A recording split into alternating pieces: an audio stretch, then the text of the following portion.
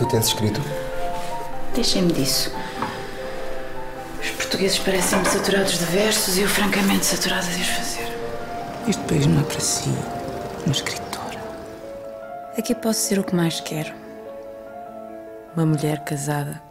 Tudo o que ela diz, o que ela pensa, as merdas que ela escreve é tudo mentira.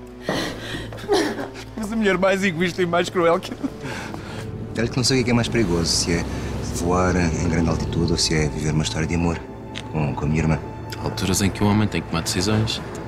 Pior do que não ter aquilo que se quer é não fazer nada quando se tem.